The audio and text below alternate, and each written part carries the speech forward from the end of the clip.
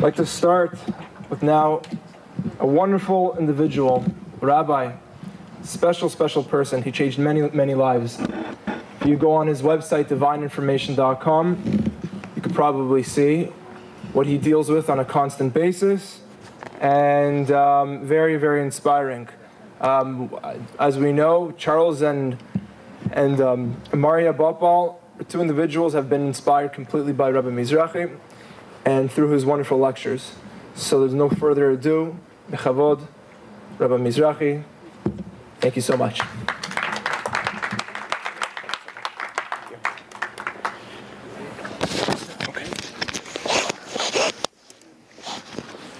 Drink, drink of water. It's okay.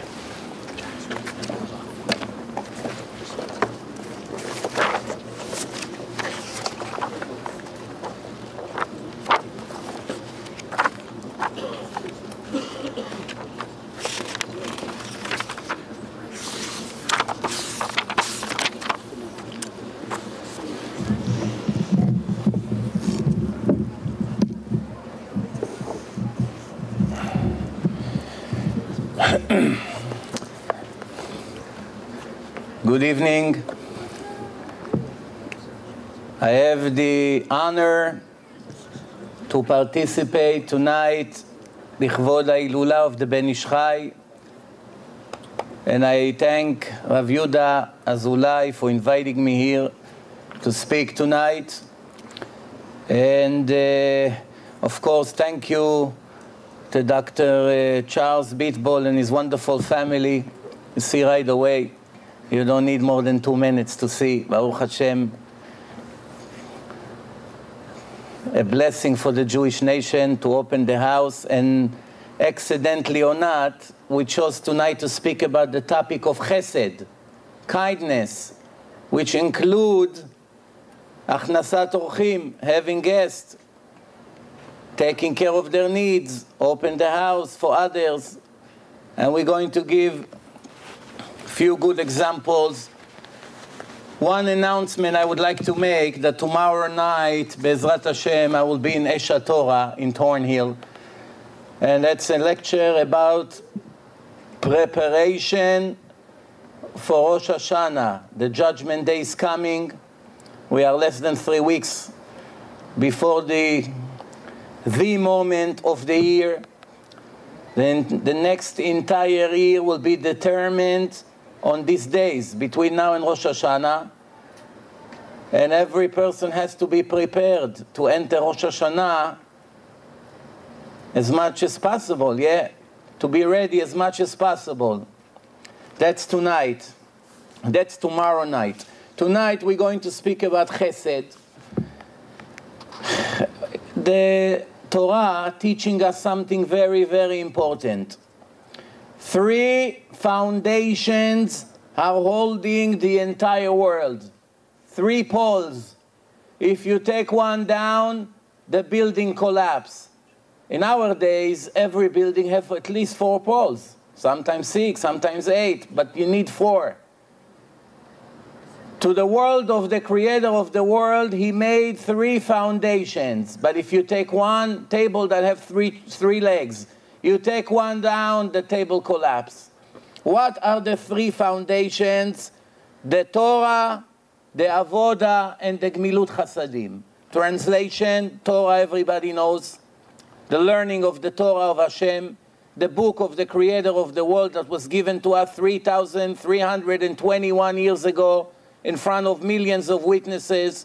The moment that changed the entire history Every moment from, that, from then on will never be the same after the whole world saw that there's a group of Hebrews that are very important to the creator of the world, the Jews. Only 13.2 million Jews are in the world, and unfortunately, not even 15, 20% of them are following the instruction of this creator. Very little. Our jobs as those who respect the Torah and love Hashem and try to spread this Torah to as many ears that we can do is to try to save our brothers and sisters that some of them are so lost that they have no idea what Judaism is all about. They have no idea. I meet Jews every day that you ask them who is Avraham Avinu, they have no idea. Who was Noach and the flood, they never heard about it. What Shema Israel, they don't know. Shulchan Aruch, the answer it's a cookbook. You're laughing and I'm crying. It's a sad joke. So the Torah says, the Torah, the avodah.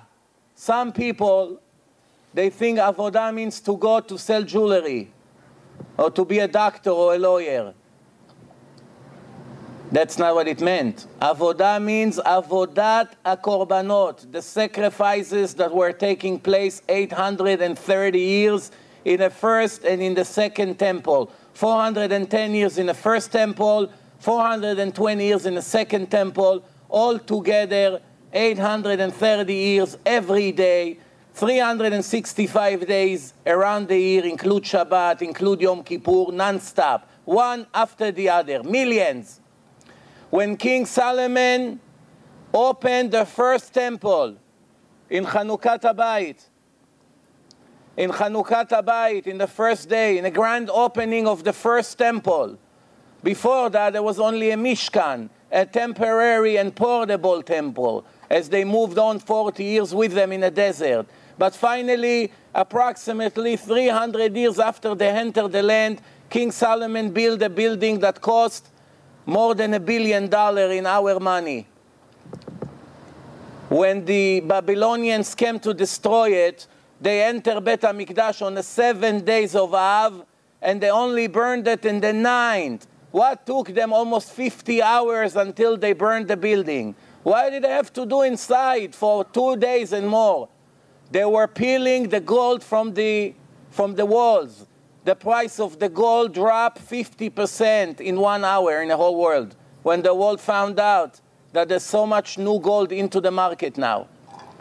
That's how much gold it was. Billions of dollars. King Solomon sacrificed, I calculated how many sacrificed, thousands of cows, thousands of sheep, $145 million according to today prices in one day. And then HaKadosh Baruch Hu said to David HaMelech, don't feel bad that you're going to die. 70 years old on Shabbat, it's enough for me one day. One day that you sit and learn Torah, it's better than all the sacrifices that your son Shlomo is going to sacrifice for me in the future.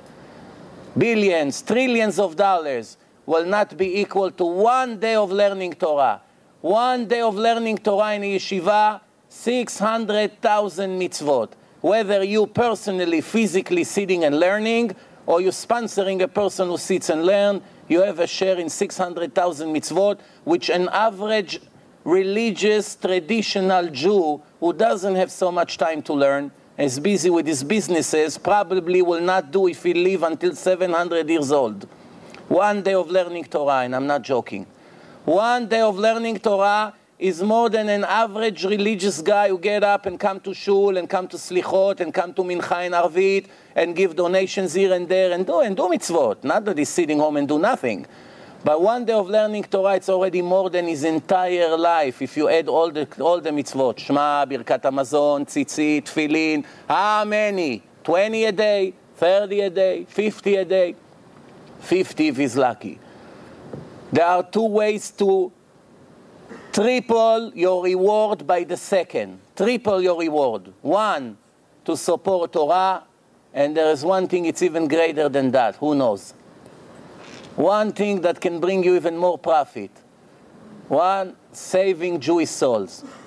Lost Jewish soul who have no idea what Judaism is, what Hashem is, what Chesed is. I'm going to talk about Chesed soon. They have no idea. You give them a CD, you invest one dollar in them and you change their entire life. They see, they listen to thousands of hours of Divrei Torah from one rabbi to another all day in the iPad, on the phone, everywhere they go, in the office, in between customers. They still do business, but now they make a million times more. That's the difference between investing correctly or not. What is the what is the avodah today when we don't have Bet HaMikdash? the davening, the prayers. Since we don't have sacrifice, Chazal says, Uneshalma farim sfatenu. We pay the cows with our lips. We don't have the altar anymore. So what we have to do? Talk to Hashem, beg Him, pray for Him, ask Him for mechila. That's instead of sacrificing all this sheep. And what is the third foundation, which without it, it's impossible to survive? What is it? Gmilut chasadim, kindness, doing for others, the opposite of being egoistic. All of us know that the Satan and our even inclination is doing everything he can to convince us to do everything for our stomach and only for our stomach, nothing for anyone else. Our job is to tell the Satan, don't fool me. Once, twice you did it, you won't do it again. I'm gonna give my entire life for others only for one reason because I am egoistic. Let me explain. Someone who loves himself and is clever. There are many people who love themselves, but they're not so clever. Someone who loves himself and is clever, and at least you can do something great with this love. What is it? Do for others.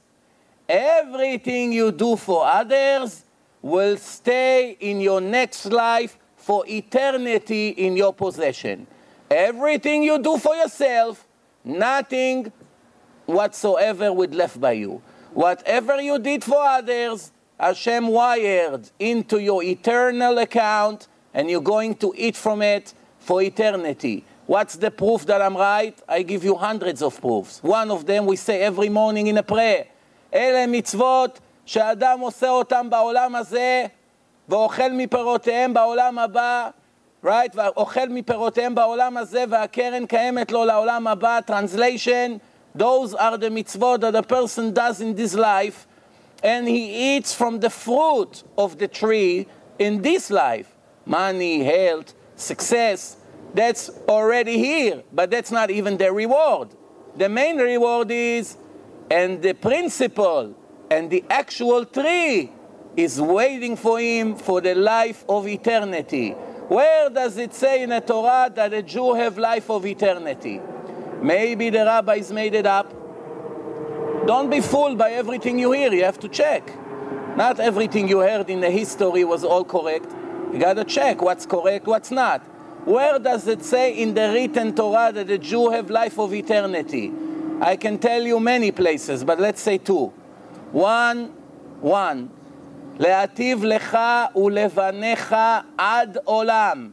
I'm going to benefit you and your children for eternity.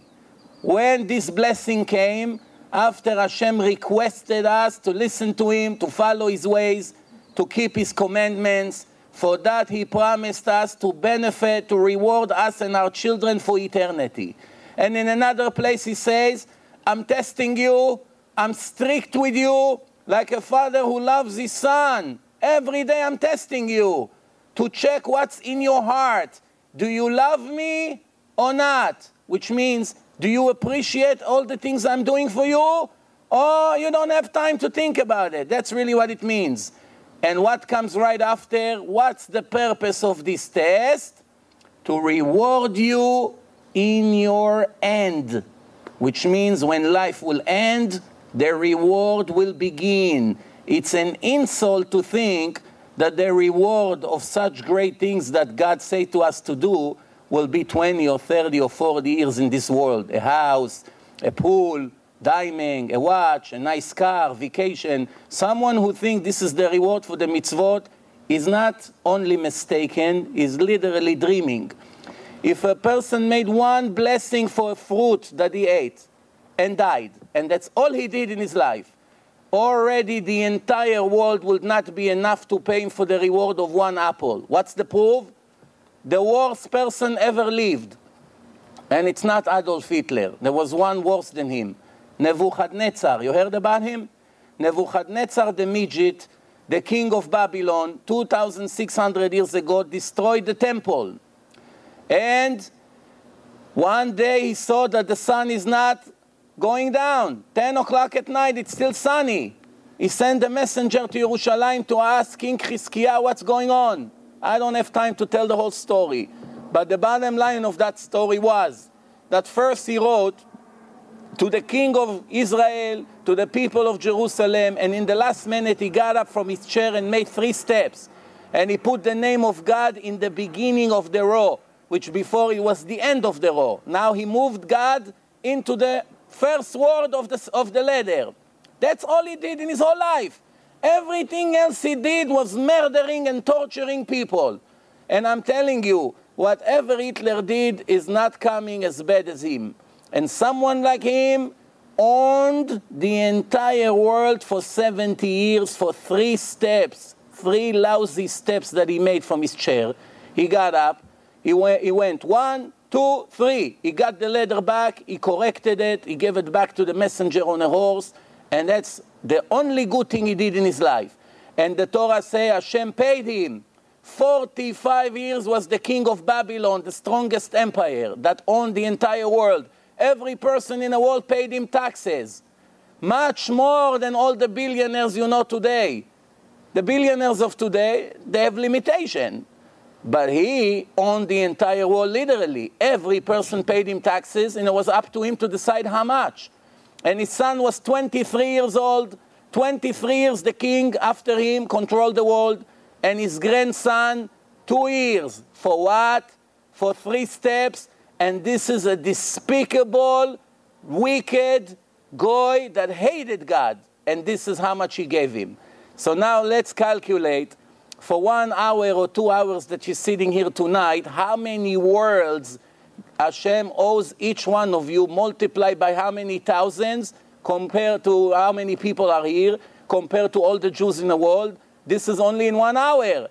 Multiply by 70 years, it's billions of worlds. Where Hashem's gonna get physical worlds for us? Where? There's only one world and it has to be divided by 7 billion people. The answer is everything, 99.9999% until tomorrow. It's all for the life of eternity. Now, one way to earn a great place in life of eternity, ladies and gentlemen, is chesed, kindness. Now, this is in relative to Torah and to sacrifices, it's much easier. I'm going to explain. To learn Torah, not everyone is a genius. You have to be smart to learn Torah. Not every person is capable of understanding Mara and Rashi and Tosfot and Maharsha and going four or five times again and see things and remember it and the next day and compare it to another Gemara. You gotta be a, a, a genius to know very well. Zohar, Kabbalah, it's even higher. You know, so no matter what part of the Torah you touch, you have to be a clever person. Some people have problems, they have no patience. They're so busy with all the things that they have in their life depression, children, divorce, problem, uh, sicknesses, all kinds of problems. So even when they come to learn, they cannot focus more than a minute and a half. That's the reason I started to make a lot of 10 minutes lectures where people told me, trust me, make a 10 minutes lecture, at least half of the people will get the point. You speak for an hour, one out of a hundred listen.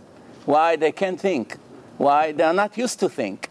They did not grow in Ponevezh Yeshiva. Their parents were hard, hardworking people. In the countries where they grew up, there was no mentality of learning Torah from morning to night.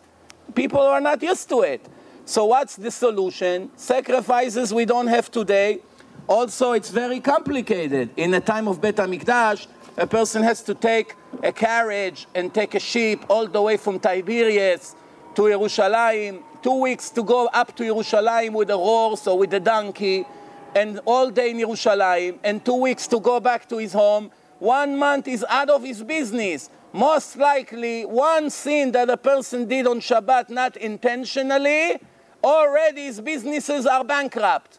Why? Because it's not like today, you get into your BMW and one hour later you're in Yerushalayim. You have to go two, three weeks until you get there. And the carriage is broken. You have to sit and fix it for five hours with your hammer, and then somebody maybe will help you out. It's, believe me, every little scene was very heavy pain. People felt it. That's why people didn't make such many scenes. Today, People make a scene, two minutes later they tell a joke. They don't even remember that they just destroyed the wall two minutes ago. Why? It didn't cost them yet. The credit card bill did not arrive. Everyone who gets a credit card in America, I don't know, in Canada, right away go on a shopping trip. Uh, over here in the mall, this, over here, all day, all week is celebrating. By the end of the month, the joy turned into tears. Painful tears, not happy tears. Why? Now the bill, the penalty, the interest. Now it's time to pay. And sometimes it takes 20 years to pay for one minute of pleasure. So the easiest way for ordinary people, ordinary people that don't have that much time to learn Torah, what is their solution? To invest time and money and efforts to help others to do the right thing. Why? If I'm a loser, let me take my money and put it by the winners to make me a winner. If I'm not the best basketball player, I cannot be. I can. I can try as much as I want. I won't do. If there was a way to pay someone and I get the fame, that would be a great solution. Don't have to worry.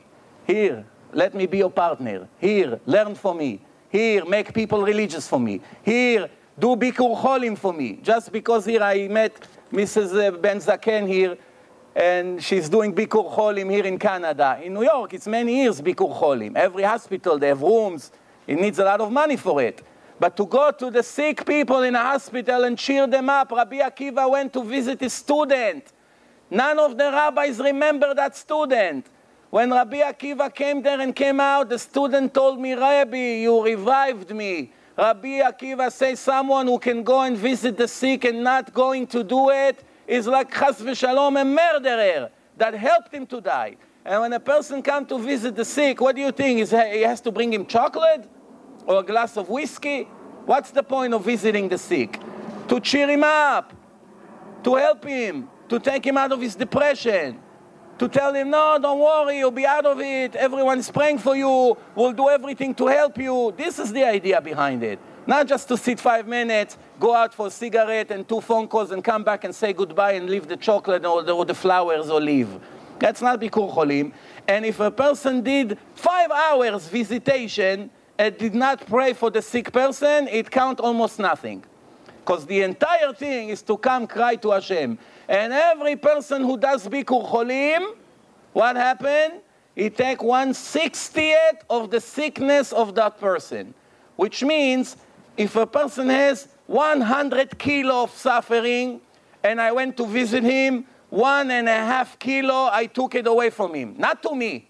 Nobody ever suffered from doing things for others. No one. No one. You have to remember, uh, the Gemara says, לעולם אין אדם מעני מן הצדקה. Person that gave uh, charity and donations never ever lost a penny from his pocket for the money he gave. Everything he gave is guaranteed to return to his pocket in his lifetime. Guarantee. And now he's going to get a huge reward for what he gave. Let me read to you some of the things that are that our rabbis taught us in the Gemara.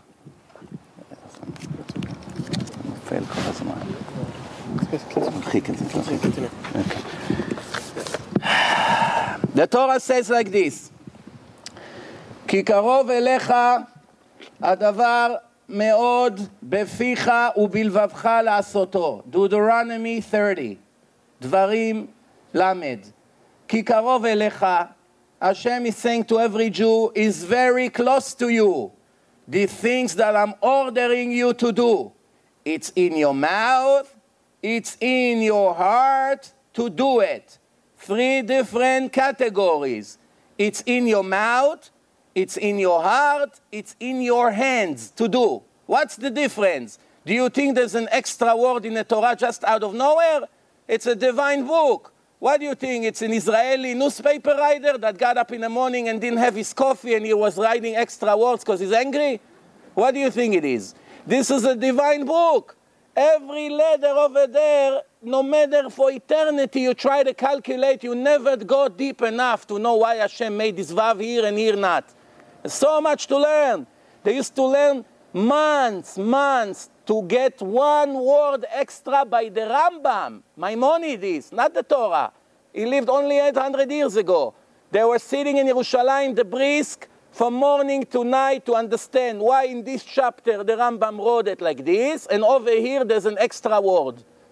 For days, and until they came up with a solution. These people are not what you think they are. It's not the rabbis of our generation, all due respect.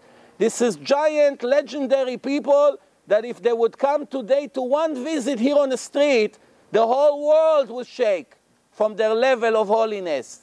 Maimonides, his, his statue is in Washington as one of the 18 greatest people ever lived. And I always like to say this joke. If they only knew all the Chachamim in the Talmud, Washington would be full of rabbis. they just heard about the doctor, because doctors in this world get a lot of respect. Why? You see them in a hospital. Rabbis get respect only for people who appreciate Torah. Doctors get respect from everyone, because everyone appreciates doctor. He saved my life. But who is more important? A doctor that give you 20 years if he saved your life. Assume it was him. He was a good messenger. If he saved your life and you live 20 more years, or your rabbi that saved your soul and brought you to billions of years of eternity of the greatest pleasure you can imagine, as Hashem promised in the Torah, who deserve much more respect and gratitude? The one who saved you from your back pain, or made you walk straight, or help you now not to have migraines anymore, or took the cancer out of your body, which, which you deserve a lot of gratitude. Don't get the wrong impression here. Or someone who saved your soul for eternity. Chazal compare between your father and your rabbi. Both of them are in jails. There's only enough money to get one out. Your biological father or your rabbi. Who are you are obligated to take out first? Your rabbi. How can it be? How can it be? He did not give birth to you. The answer is your father brought you to a temporary life and your rabbi is bringing you to eternal life. You owe him a lot more. And there's so many other examples, but it's not the topic tonight. So, what are the three categories in this verse? One, listen good what's going on here. One is mitzvot that the person does with his mouth praying, learning Torah. What did I say? Three foundations to the world. Torah is one of them. So the Torah say, beficha, in your mouth. That's Torah. Ubilvavcha, what's balev? Tfilah. Tfilah, sacrifices. When a person brings a sacrifice, he makes vidui, chatati, aviti, broken heart. לב נשבר ונתקה, אלוקים לא תפזה. A broken heart, Hashem never turned down. But if the heart is very happy when you come to ask for mechila, for forgiveness, how a person come and smile in front of the judge, Your Honor, I'm very sorry that I like to murder. Let's, let's try to start fresh from tomorrow with a smile. But if he comes with tears and a broken heart and he's fall on the floor and faint, maybe there's a chance. But if he smile and check his text messages while he's talking to the judge, you know, obviously he's not going to be productive. So, what's the third thing? La'asoto, gmilut chasadim, kindness. What's fall into the category of kindness? Thousands of things, thousands. Give a ride to your friend on the street. You see a Jew on the street, it's raining. You beep. Do you need a ride? Where do you need? Five blocks away. So what? So you drive another two minutes. Another dollar gas. So the Jew won't get uh, wet, his suit won't get ruined, his hat, whatever the case is. Getting up people to come to the shul in the morning. You get up 10 minutes early and make phone calls. That's gmilut chasadim. Going to bury the dead person. Making a funeral to him. Gathering people to come and say Kaddish for him. Say Kaddish for someone who doesn't have children. Visiting the sick people. Having guests in your home. Taking care of their needs. Bring them, as soon as they get to your home. What's a good host is? A good host right away comes to the guest. First thing, he has to offer him the bathroom. Why? How do you know where he came from? Maybe it's two hours on the highway, on the traffic, in a bus, in a train, in a plane. Not always this bathroom. He's a religious guy. He's not going to enter McDonald's to use the bathroom. It's Chilul Hashem. So he's thinking, what am I going to do? I'm not a dog. I got to find a place. First thing he come to your home, he's embarrassed to tell you, oh, I need a bathroom. Some people are embarrassed. First thing, sir, if you need a bathroom, it's right here. Second thing, right away, show him his room. Third thing, offer him right away towels and shower. Right away, bring something to drink and put a meal to him, fruits and a meal to eat right away. And the most important thing, don't drill in his head. Give him a peace of mind. If he's a rabbi, Rabbi, I have problems with my children. Can you help me? Can I bring my son? Can you give him a bracha? Can you test him on his test? Tomorrow is a test. Give him an hour to rest. You don't know where a person come from. There's laws how to, to have guests. It's not so simple. Shabbos meal. Shabbos meal. Who's to say that you're allowed to examine the person who came in Torah? What does it say here? What does it say here? Who, what do you think? Everyone is Chacham Ovadia Yosef? That every question you ask him, he knows even when he sleep? Some people don't know everything. He may know 9 out of 10. The one he won't know, you embarrass him in front of all the guests. And there's many, many other examples. So let's continue. The Torah says like this.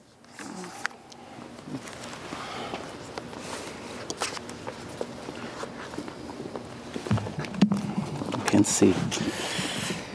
The Torah says like this. When Hashem created the world,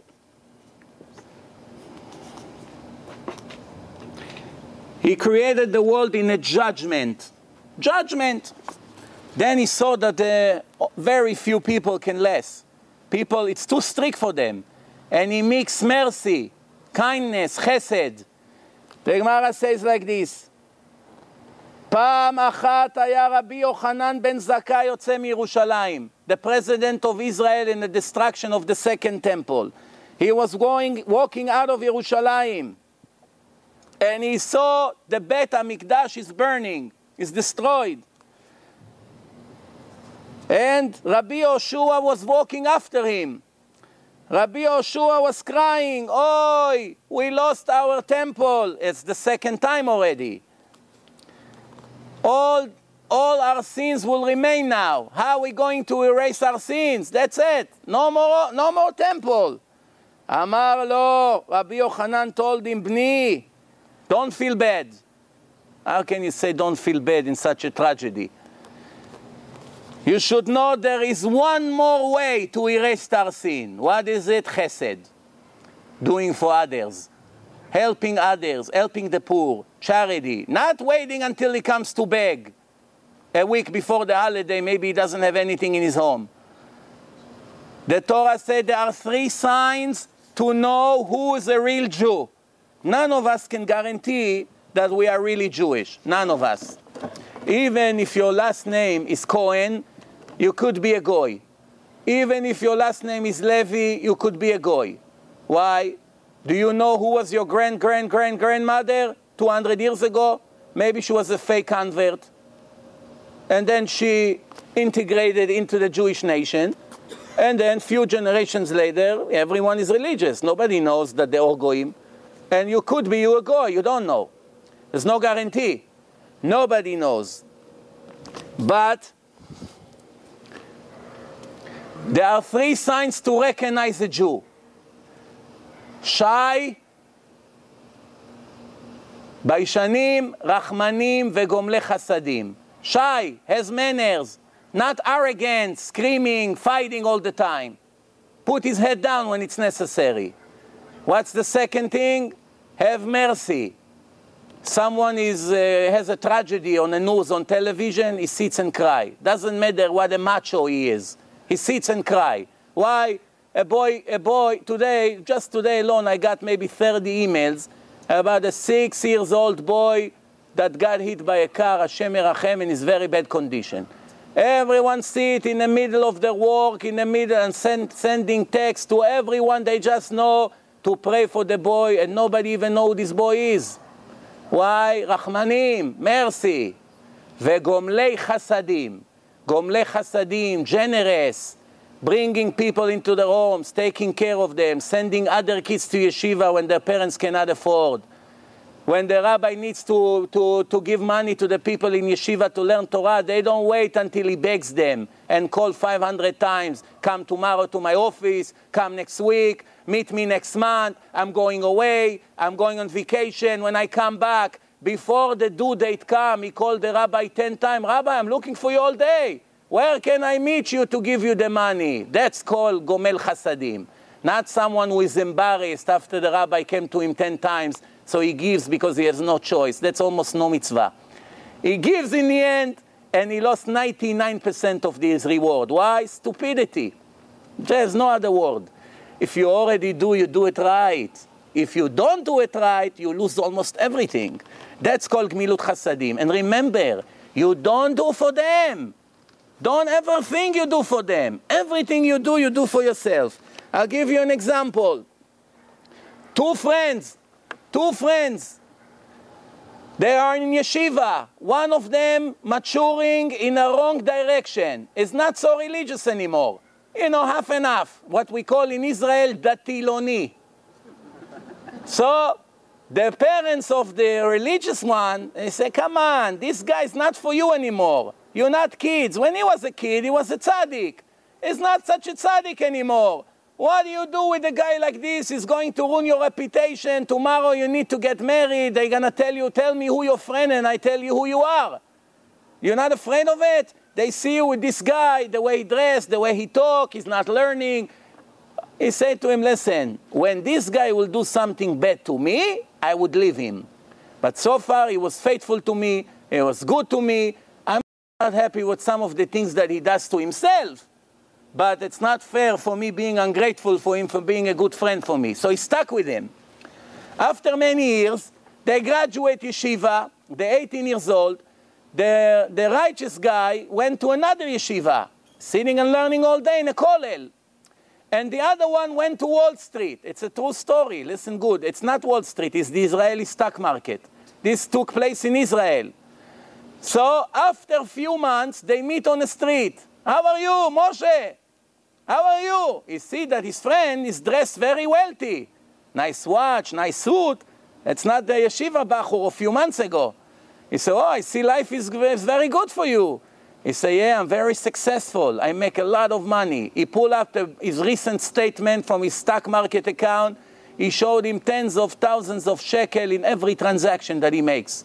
This poor guy makes 2,000 shekel in a whole month, $500, that's it. In a best scenario. That's what a yeshiva bachur gets in Israel, married one with 10 children. So, I know I have a yeshiva, that's all I can pay. What can I do? And this barely after killing myself, 24 guys, times $500, is a lot of money every month. And $500, even the maid here make more a week than a guy who's, who makes the whole world surviving. Someone who sits and learns Torah, the HaKadosh Baruch Hu said that thanks to him the world exists. But this is the walls of lie. Over here, the people who are celebrating are not necessarily the important people. The ones who are having hard time, HaKadosh Baruch Hu is testing them to give them a much bigger reward. So now the stockbroker, so the guy is telling him, listen, how about I'm going to take a loan from my bank and I'll give you a few, few thousand shekel. And if you make so much money, maybe you give me some extra few hundred dollars a month. You know, one day I have to marry my kids. He said to him, No, you know, I, we are friends. I don't want to ruin our relationship. He said, Come on, uh, after I see your statement here, you hardly ever lost. You only make money. You, you're a genius. Yes, no, yes, no, okay. Come to my office tomorrow. This is the address. Bring me your money and I'll see what I can do. The guy gave him the money the next day, 20,000 shekel that he borrowed from the bank in five years with interest. He gave him the money, 10 hours. It's a true story, remember. If it wasn't a true story, no. Everyone can make nice stories. This is happening in reality. 10 hours later, 1987, the Israeli stock market and Wall Street crashed completely. First thing he does, this poor Avrech, is trying to reach him on the phone, no answer. The phone is off. There was no cell phone. You have to call his house. The phone is off, it's off the hook, busy. One day, two days, five days, he cannot learn, the poor guy. If he lost his 20,000 shekel, that means 20 years until he's going to pay it back to the bank after knocking on doors, collecting tzedakah. So what happened now? One week he's calling, no answer. So I hope my friend didn't kill, kill himself. That's what many brokers did. After one week, he picked up the phone. Oh, Baruch Hashem, I reached you on the phone. He say, oh, it's you. He say, yeah, yeah, don't worry. I know it's all from Hashem. I will never tell you one bad word. If you lost my money, it's my fault, not your fault. You didn't want it. He said, relax, relax. Come, come to my office. I have your money. You're lucky. I didn't have a chance to invest your money yet. It's right here in my drawer. Come quickly. You have your 20,000 shekel right here. So, eh, you know, I don't have to tell you how he was dancing on the street. we have to dance on the street just because we are Jews homeless, no house, no wife, no nothing, nothing, a little lousy suit. Just that I'm a Jew, I have to dance on the street. Why? I have eternity. I'm a son of Hashem. One fake Messiah became Christian, all of them bow down to him as the Son of God. Every Jew is really a son of God, a real son of God. But we don't feel it, unfortunately. So the guy is running, the Avrech running to, to his office, he sees him sitting, half crying. He takes out the envelope and he gives him the money. Few years later, few years later, he get a phone call. Itzik, yes, come to my office. I have a nice surprise. I heard that you're going to marry your, your daughter soon. How do you know? You know, the rumors, I, I meet friends from our yeshiva, they told me, Come, I want to give you a nice amount of money. Why do you want to give me money? Don't worry, it's not tzedakah. It's your money. What do you mean? Come to my office, I'll explain to you. So he come quickly to his office. He takes out an envelope, 80,000 shekel, enough to pay for the whole wedding, rent them an apartment for one year, even help them with a lousy car. Well, look at the car the Prime Minister of Israel driving. Every ordinary homeless here is having the same car. You know, you have to understand. yeah. yeah, you know, a little Volvo, whatever. Anyway, fine. It's a, it's a different kind of uh, economy, I guess. Anyway, so he said, what do you mean 80,000 shekel? He said, I tell you the truth. Remember when you came to my office few years ago? I really did invest your money. But my heart didn't let me tell a guy who sits and learns Torah and have few children and live in a tiny room that I lost the money that he borrowed from the bank. So that's my own personal money that I have left. Mamash, my last dollars. I kept it for you and I gave it back to you. But then what happened is, I was crushed for three years out of a job, cannot make a dollar, leave myself from charity, from the Gmach, from Tomche Shabbos.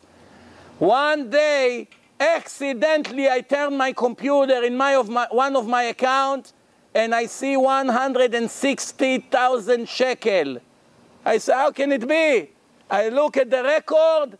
This is the stock that I bought from you. It went down to zero, to few, I don't know, few hundred shekel. I was so depressed, I forgot about it. Few years later, it started to come up, up, up, up. One big company bought them up, and it became very, very expensive, and that's half of your money. You understand? The guy left the yeshiva. He doesn't have much time to learn Torah, but this thing that he did, it's the only way to get back what you would got by sitting and learning Torah. I, I always tell this story. Maybe some of you heard it, but it's worth to repeat it again. I was giving a lecture in Queens, and a girl, 20 years old, come to me and say if I can find her a shidduch. I say, give me information, I'll try. Two months later, I came to that place. She didn't come, this girl. So I asked the husband and wife that arranging the lecture, so how is it going? What's going on? I see your friend this time didn't come. She said, yeah, she just got married. I said, ah, Baruch Hashem. One less in my list to find him a shidduch. so, so I say to her, uh, very nice, I'm happy, Baruch Hashem. She said to me, you want to know how she got married? How she got married? Eliyahu Navi came. Well, how did she get married? I say, you know what, if she tells me the story, it got to be a secret here. I say, yeah, yeah, tell me how she got married. Now we have about a hundred secular guys and girls, Israelis, sitting waiting for a lecture of proofs. They have question if the Torah is from Hashem or not. This is the generation we live in. We have to prove to people that the Torah is divine. So, She's telling me now the story. When she came with her parents from Russia, her parents were completely broke. They couldn't afford yeshiva. So, you know, they were waiting to find a sponsor that they can put her in yeshiva. So they went to a Russian organization who collect money from wealthy Russians and give it to poor Russians to send them to yeshiva. They got to a guy in Brooklyn, in Mill Basin, and he come to him and say, there is a girl, if, she, if you don't sponsor her, she go to public, 10, 20 years from now, she'll marry Chris and another Jew is gone. It's your choice. He wasn't religious bichlal, but he has a heart of a Jew. And he's a very, very rich guy. Big deal. So another $800 a month he give to save a Jew. So he said, okay, I'll sponsor her. And he started to give the money every year, checks in advance. One day, after she asked me to find her shidduch, she went to some place, a library or something. She sits over there. And an Israeli secular girl, not Israeli, American secular girl come to her and start to socialize with her. And then she said to her, I see you very religious. She said, yes. She said, I have a shidduch for you. The one with the mini skirt and the short sleeves, she offering these rabbits and a shidduch. So she said to her, what do you mean a shidduch? I'm very religious. Oh, she said, I have my brother for you. My brother. She said to her, but you know, I'm very, I want a guy who sits and learn Torah all day. She said, that's why I came to you. I see you very religious. For real, not fake. Real scared, real modest clothes. It's hard to find in these days. Real ones. 100% according to the halacha, it's hard to find. So what happened in the end? So she told her, my brother just graduated in Or Sameach. He was there for six months. He went, he came back now. He's, he's uh, mamash inspired and he wants to marry a religious girl. Let me set you up with him. What do you have to lose? She, she agreed. They went up a few times, perfect match.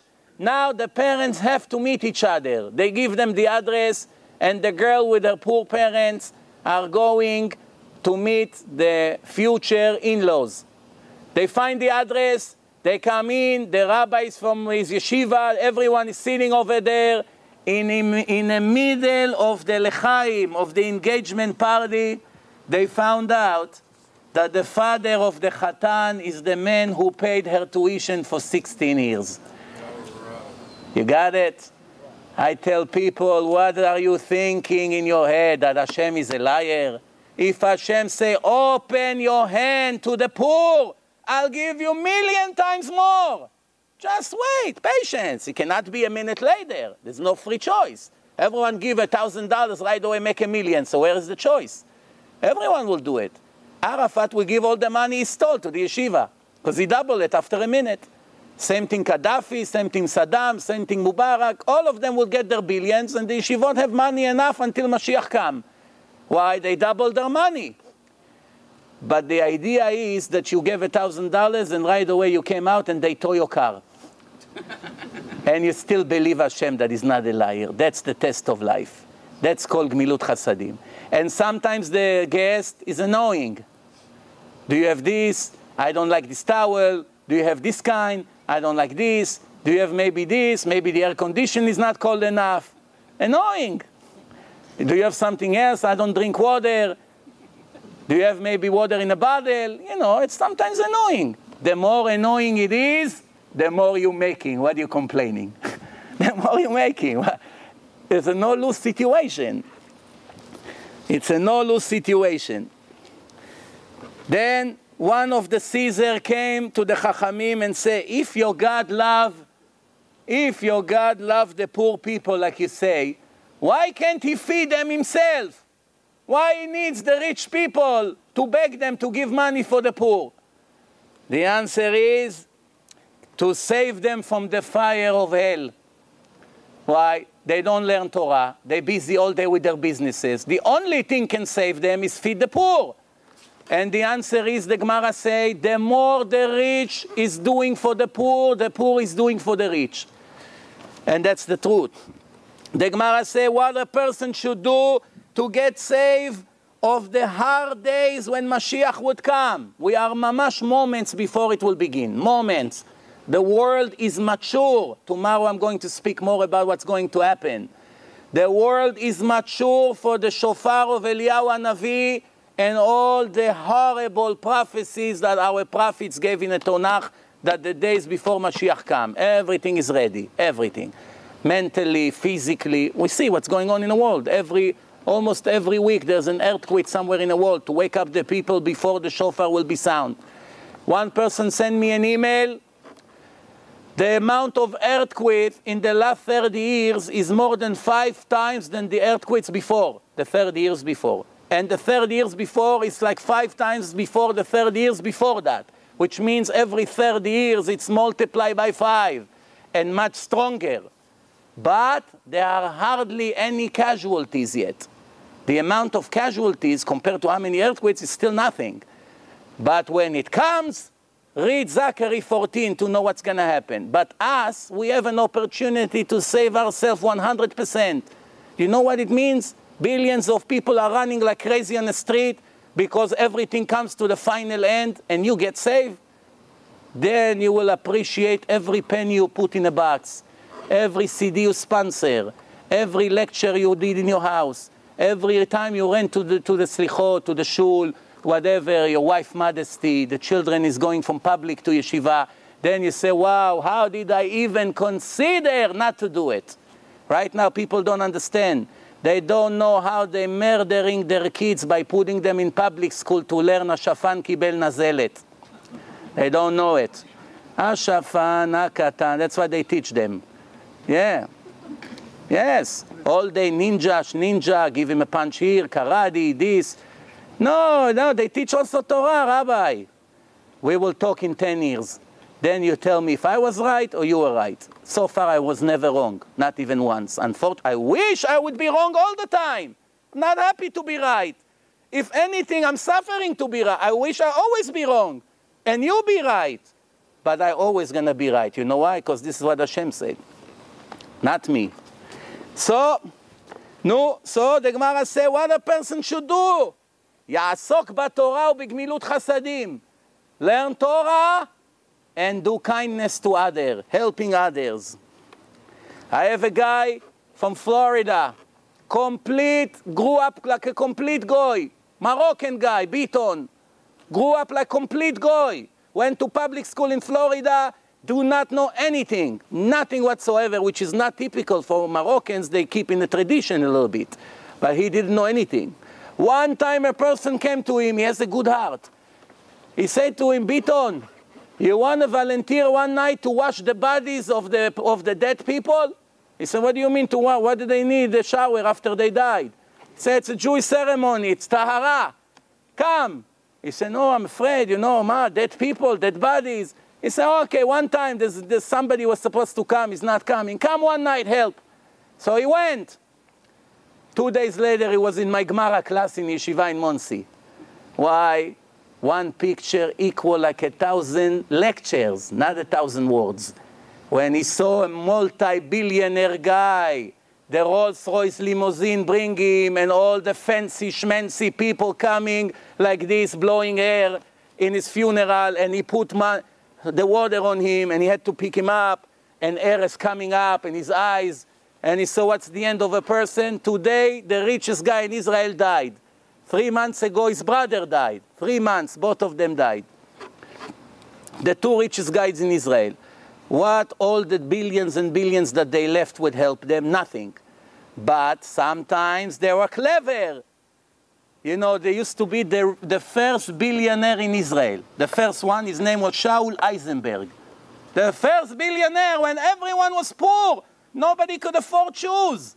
60 years ago when the British were in Israel, he already had more than a billion dollars 60 years ago, was doing business with the Chinese government in tons of business, tons of business. He had a mansion in Savion. Believe me, everyone was poor, not like today. Today you have about 100 billionaires in Israel. Most of them Americans, but they live in Israel.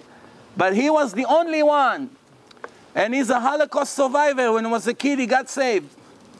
And he had a cousin and his cousin, she's, she stayed religious after the war, and he was a little kid. He grew up not religious. After many years, the husband of his cousin say to her, Dvora, why can't you go to your cousin? He's the richest guy in the world. Ask him for some help. We are going to have to marry our children starting in few months. We don't have a penny. So she said, you know, after so many years after we came to Israel, I never asked, I never asked, I never spoke, I never asked him how he's doing. Now I'm going to show up to his office in Tel Aviv like a beggar. He will tell me, all these years you didn't remember I'm alive. Now you come to ask for money. So her husband said, well, we are religious people. We're not afraid of embarrassment. So the embarrassment helped to erase the sins. So worst comes to worst, you get embarrassed and you come home. She came to his office and he was very happy to see her, smiling, was very kind. She said to him, Shaul, I'm sorry that I'm coming like this. I should have come a long time before, but I'm in a desperate situation. We are doing very bad. We don't have money. Maybe you can help us a little bit. So his words were like this Why didn't you come to me 10 years ago? What did you wait for? Of course, I will help you. Right away, he wrote her a check for $100,000. This is more than 20 years ago. $100,000, which was peanuts for him. He make it in an hour. And he told her every month, give your address to the receptionist.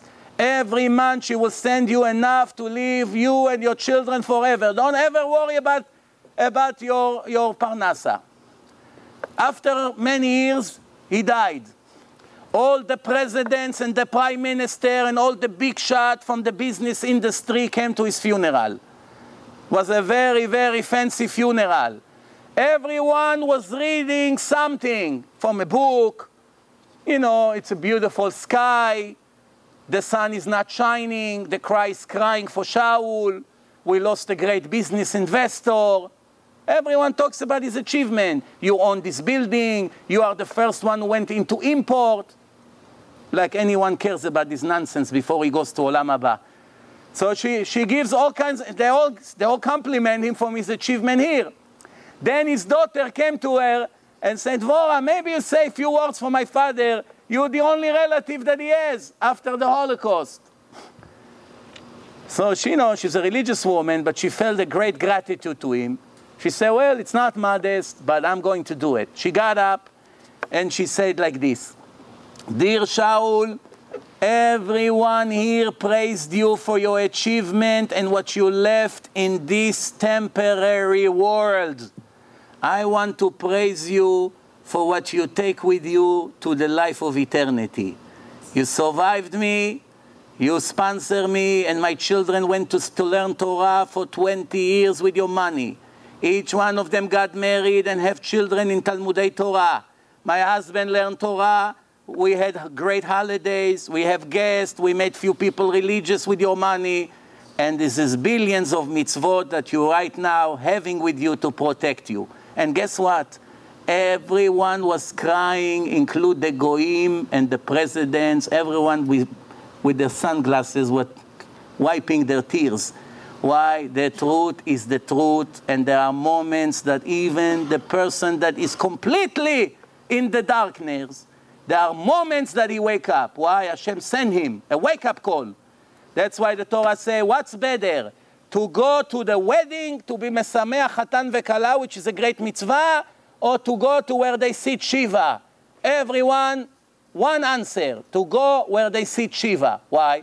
It's great to, to dance with the Chatan and Kala, Achnasat Kala, Kala Nava Chasuda, you have beautiful Kala, you know, whatever. It's very important. But when you go to cheer people who mourn and sit Shiva and cry, not only that it's chesed, you are getting finally a wake-up call. I'm the next one. What, I'm going to live forever? I live in my illusion, planning, I'll expand. Next year I'm going to make such and such. Before he realizes, Hashem say, I have other plans for you, my friend. Come, come. Sometimes a person asks too many questions. Prove to me Hashem is there. Prove to me that the Torah is from Hashem. Prove to me that the Gemara is from Hashem. I don't believe. The rabbis made it up. They add all kinds of things. I'm not convinced. Hashem, you know, you have too many questions. Come, come, I'll answer your questions. Come. That's what happened. You have too many questions, you don't want to get up, fine. Just before we finish, because time is running out, the Gemara says like this There used to be a prophet named Hulda. Hulda, she was in a, a relative of uh, Prophet Yirmiyahu, about 2,500 years ago. And she had a husband, her husband, his name was Shalom ben Tikva. And all day, she told him, You sit and do chesed to other people. Wash things for them, help them with bags on the market, running like a servant. Come, lady, let me help you. Come, sir, can I help you? Can I help you cut the grass? Can I help you pick up oranges from the tree? Can I help you clean? Can I help you uh, pick up your donkey? Can I run for you for the market? Can I babysit? All day, servant. The, the husband of the prophet of Israel. Prophet. Hashem sends her messages. And the Gemara say, thanks to his chesed, she used to get more and more prophecies from Hashem to teach you the level of Gomel Chasadim. You know, I know one rabbi who he came to a place and he saw five brothers, all of them big rabbis. And all of them tzaddikim, but real ones. So he asked one of them, tell me, what is your merit? What, what, you, what was your father doing right that he has five sons like you, each one like an angel? I'm not sure which one is holier than the other. So he told him, I, I don't know, but I can tell you only one story about my father. Maybe it will help you to understand. My father was in business, and he had one competitor that used to give him hard time in business. Everything he does, he copy. Supposedly, he's hurting his business. But Hashem didn't like it, and he made the competitor go bankrupt. And the marshal came and they picked up all the furnitures and everything from his uh, showroom. And they took it to an auction. And when my father heard it, not only wasn't happy that his competitor collapsed, because the Torah says when your enemy collapses, don't dance. Don't dance. In the end, everyone gets what they deserve, but don't dance. When the Egyptians were drowning, the nation of Israel wanted to say Hallel. Hashem say, my creation is drowning, is getting destroyed, and you want to dance and sing? The worst enemies, the enemies of God. I made them.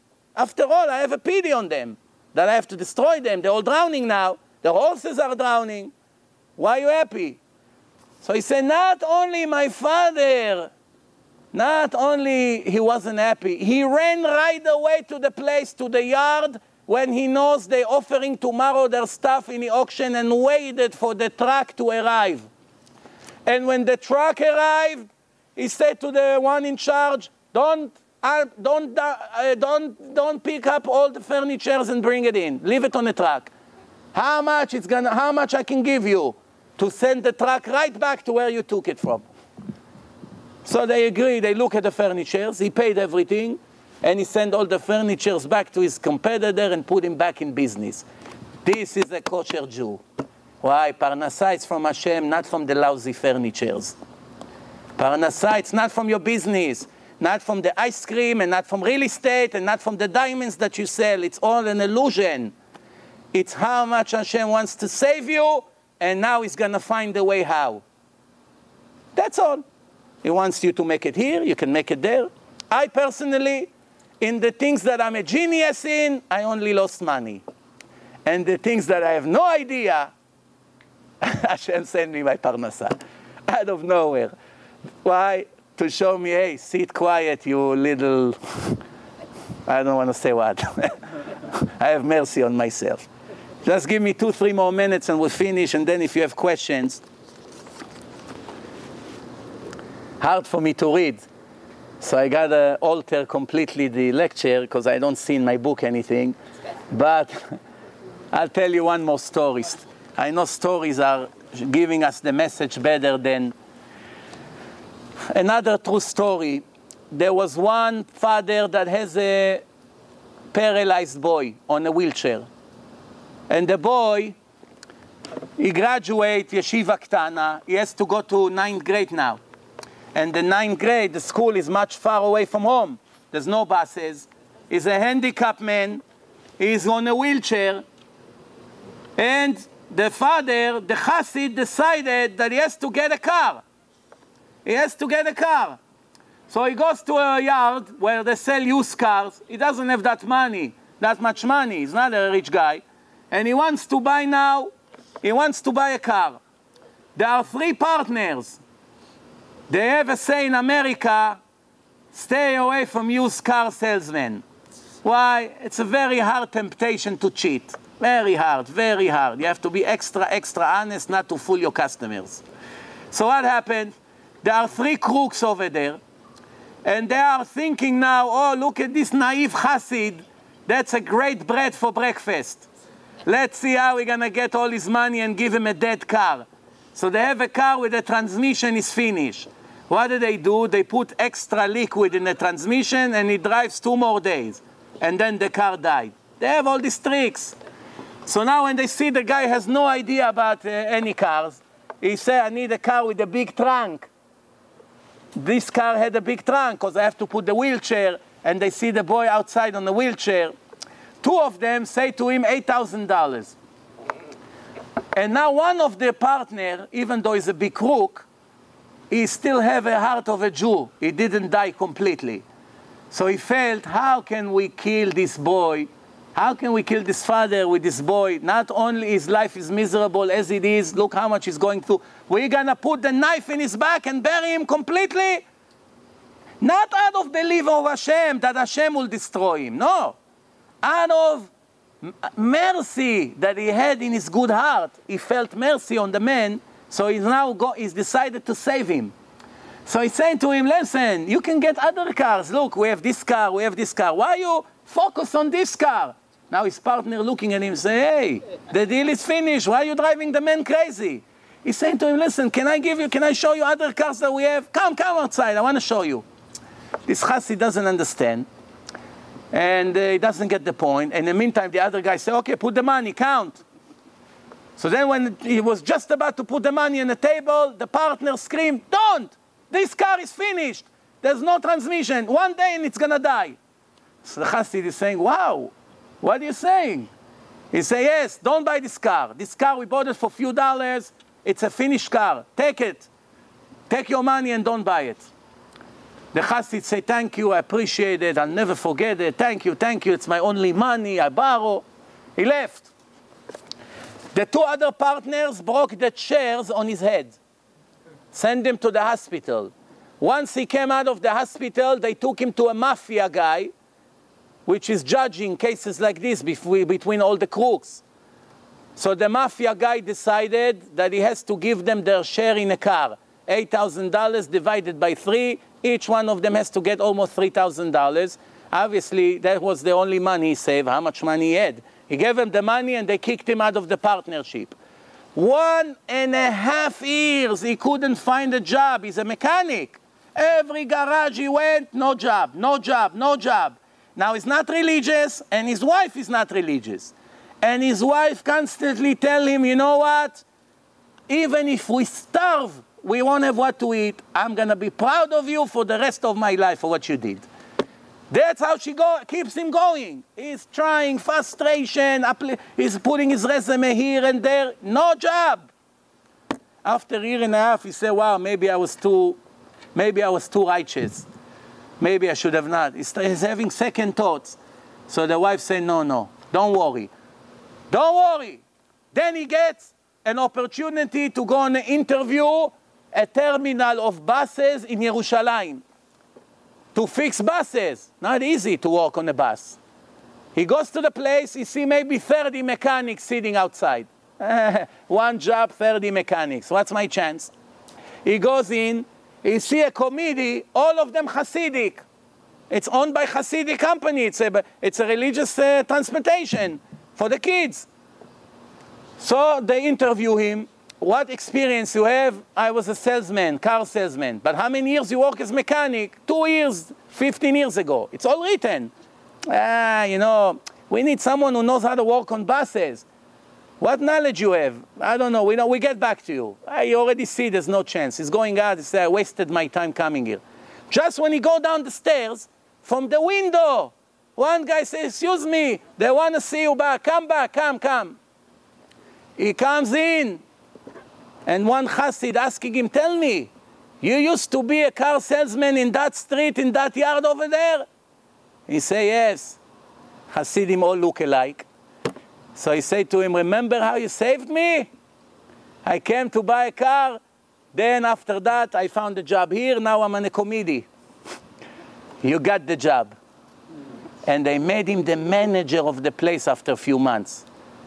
And he made him religious. That's the best part. Everything you do for others, good or bad, you do bad, comes back to you like a boomerang. You do good, comes to you and your children, and Hashem will never forget you. Just have trust in Him. I want to thank Rav Yuda Azulai and uh, the great family of Beatball and Jesse Revivo and uh, Michelle Kahn and all the people who always helped me to come here.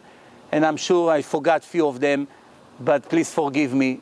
And hopefully I want to see every one of you tomorrow. Tomorrow it's a critical lecture. Not because it's me, because it's three weeks before the judgment day. Everyone wants to get a good advice.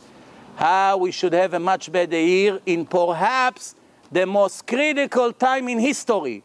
And that's not what I said, it's all the Gdolei Torah say. We are entering time, also the autistic kid says. We are entering now time in a world that nobody ever saw in history not in a Holocaust, not in Yetziat Mitzrayim, not in the destruction of the temple. The world is going to the final battle. What's going to save us tomorrow night, Aish HaTorah? What time? 8 o'clock? 7.30. Please be on time. And thank you very much and good night.